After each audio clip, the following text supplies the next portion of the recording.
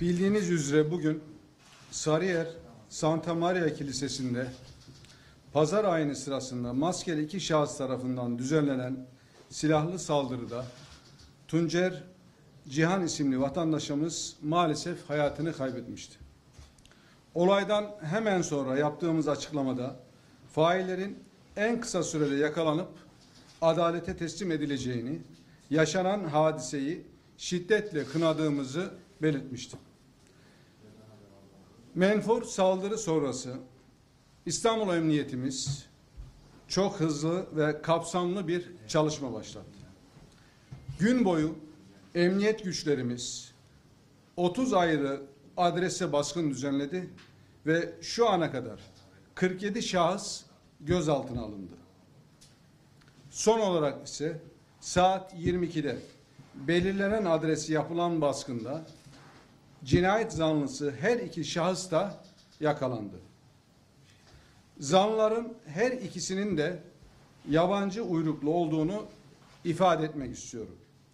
Biri Tacikistanlı, diğeri Rusyalı olan bu iki yabancı uyruklu DAEŞ'te olduklarını değerlendiriyoruz. Olayın üzerinden 12 saat bile geçmeden her iki katil zanlısını yakalayan İstanbul Emniyetimize, kahraman polislerimize teşekkür ediyorum. Kilisede işlenen cinayetle ilgili zanların ifadeleri alınacak, olayla ilgili karanlık noktalar aydınlatılacaktır. Şunun altını çizmek istiyorum değerli basın mensupları. Medeniyetimizin baş tacı İstanbul'umuz farklı dinlere, mezheplere asırlardır ev sahipliği yapmaktadır.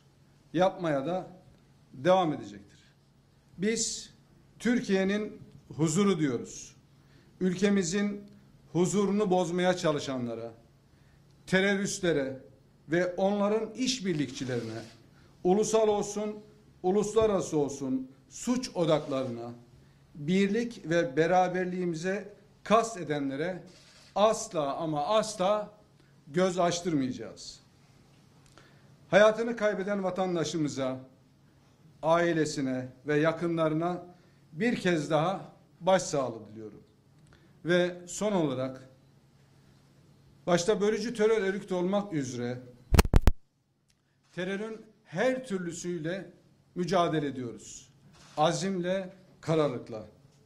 DAEŞ ile ilgili değerli basın mensupları 1 Haziran 2023'ten bugüne 1046 operasyon yaptık. 2086 gözaltı, 529 tutuklu, 404 adli kontrol kararı alındığını da belirtmek istiyorum. Her birinize teşekkür ediyorum. İyi geceler diliyorum.